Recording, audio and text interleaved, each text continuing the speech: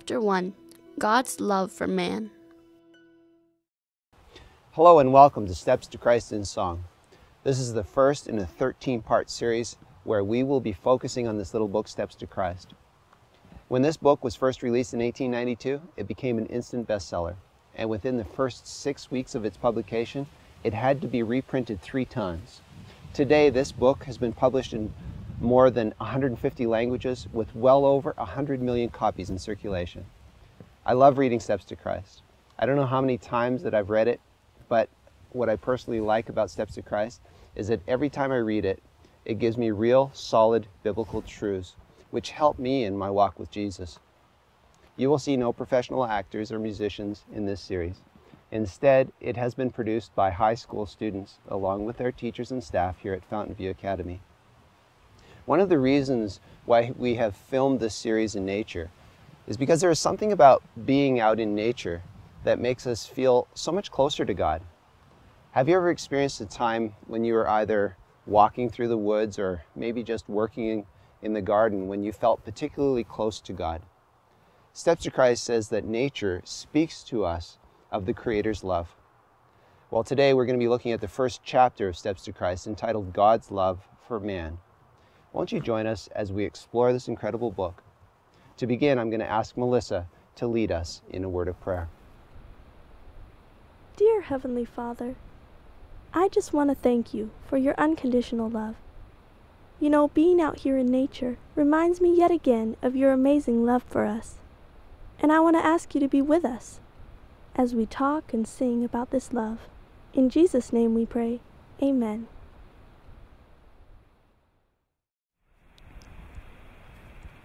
When I look at the incredible beauty around me, I'm inclined to think that whoever made these things was inspired.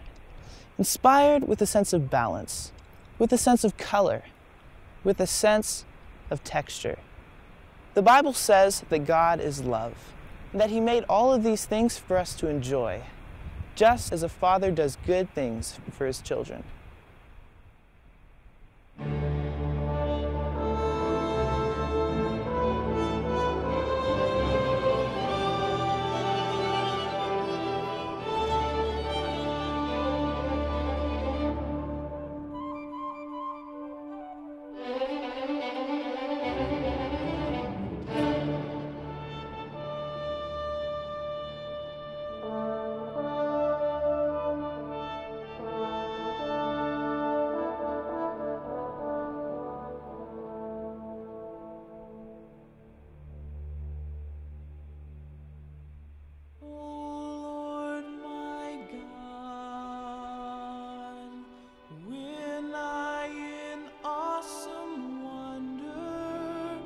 Consider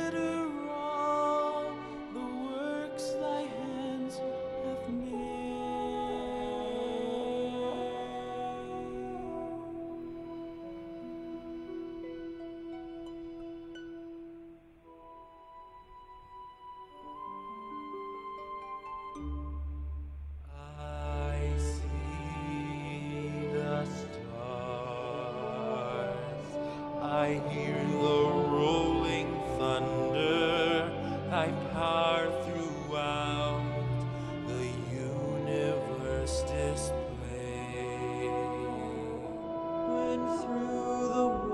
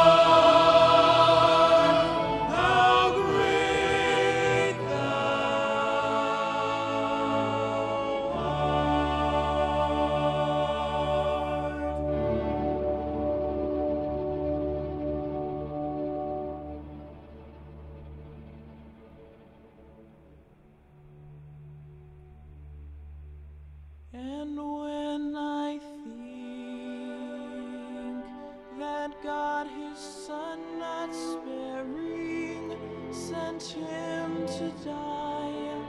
I scarce can take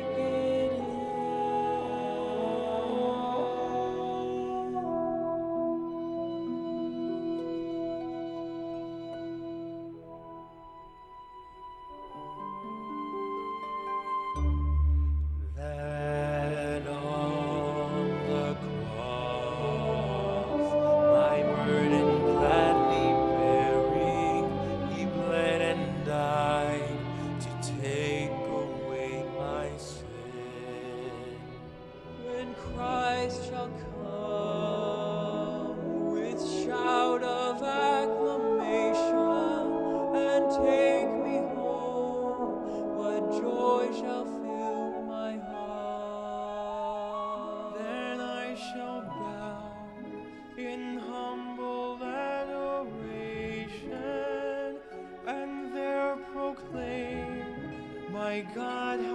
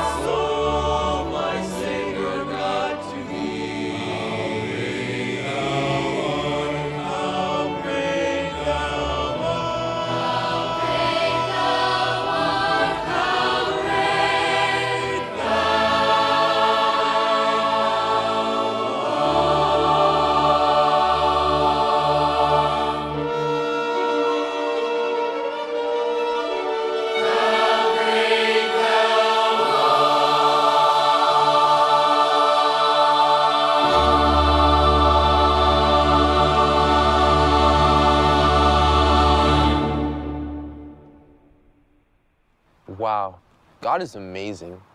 And we see how big and great He is through things He creates. Things like the stars, the galaxies, even small things like these cherries that grow on these trees here. But, you know, I think there's a different side to God's greatness. A side that's personal, that's relates to you, to me.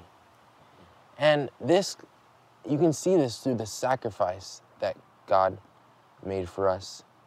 He sacrificed everything so that we can live with Him eternally.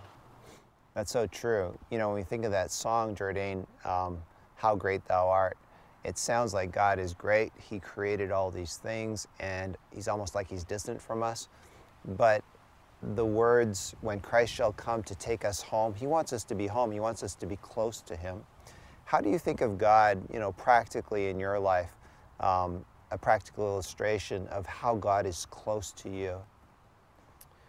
Well, you know, that sacrifice that mm-hmm. Jesus showed is really what, to me, shows that he really cares. Mm-hmm. Um, my dad, when he went to high school, he skipped college and went on with his life, and then he had a family, and I had he had my sister and I, mm-hmm.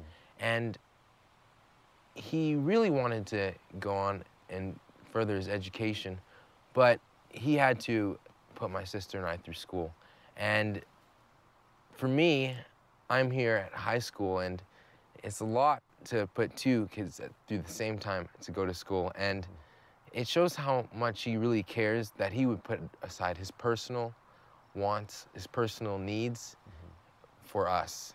That he would, like, put aside a better life for mm-hmm. himself mm-hmm. and make it better for us. Yeah. So your dad made that great sacrifice.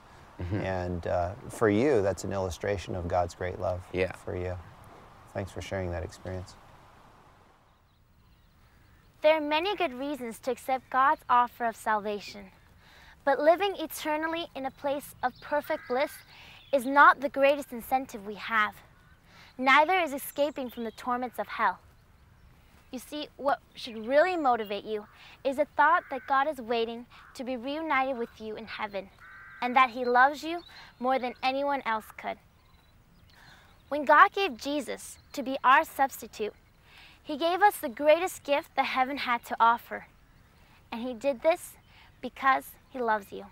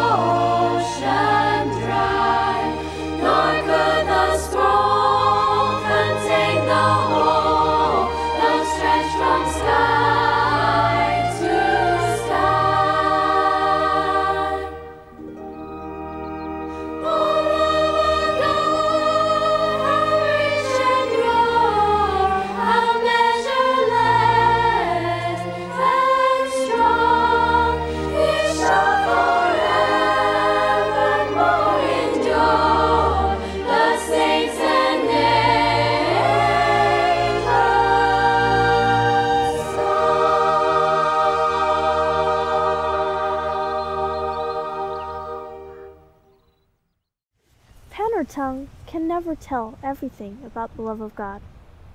It's something we just don't quite understand, and words are inadequate to describe it. You know, here on this earth, we have a distorted view of love. Our love just ends sometimes, and our promises are like ropes of sand. But God's love never, ever ends. It's so wide, it's so deep, it goes on forever. God's love goes on forever, and that is the comfort and the hope that we have. But in this world, we still see that there are thorns on the roses, and we see a lot of pain in people's lives. Um, as Christians, Luke, what do you think God would have us do to alleviate this pain, to deal with the problem of pain in this world? I can best explain that with an example from my life. Mhm. At my previous school during my junior high years, there was one girl in particular that always sticks out in my mind. She was very emotionally unstable, she was physically abusive, verbally abusive, and was rejected by everyone. I can imagine that. But my dad had been teaching me something. He said, Be kind to unkind people, they need it the most. Mm. So I decided to do just that. Mhm. Then one day, she grabbed me, pulled me aside, and said, Luke, I need to show you something. So this is the same girl, and you'd Mhm. been very kind to her. That's that's not an easy thing when someone's unkind to you. It wasn't. No. But she pulled me aside and sat me down. And she rolled up her sleeves.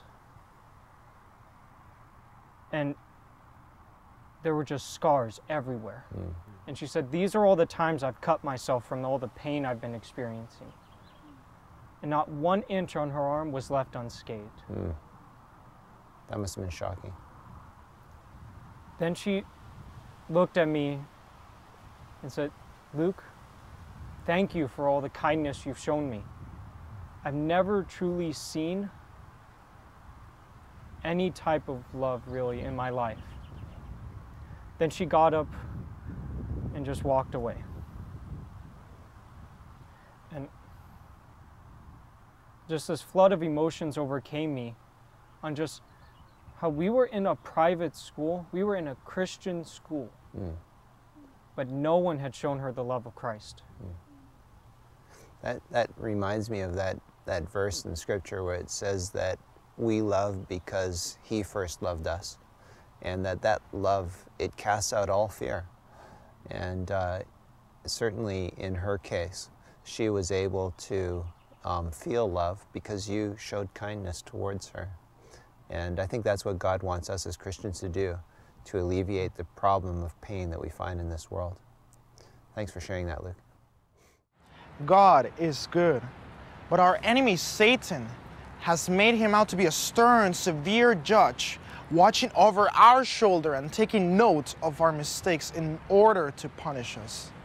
But in Exodus 34, verses 6 and 7, God told Moses that he was merciful and gracious, long suffering, and abundant in goodness and truth, keeping mercy for thousands, forgiving iniquity and transgression and sin.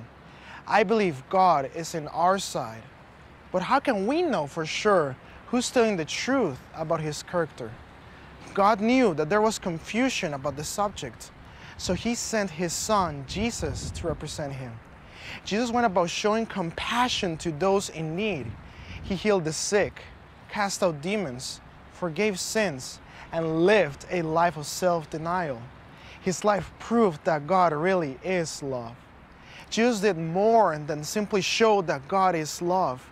He came to rescue us from the slavery of sin by paying the penalty for our transgressions.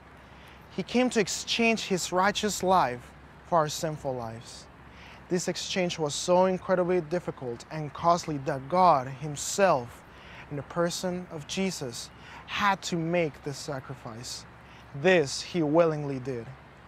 Jesus himself said in John 3:16 that God so loved the world that he gave his only begotten son that whosoever believes in him should not perish but have everlasting life.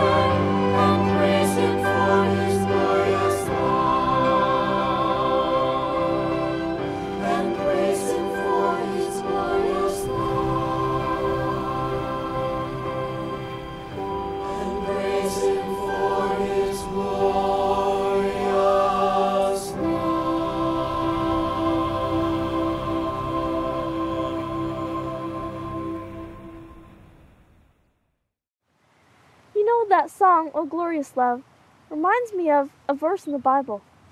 Romans 5, verse 8 says, While we were yet sinners, Christ died for us.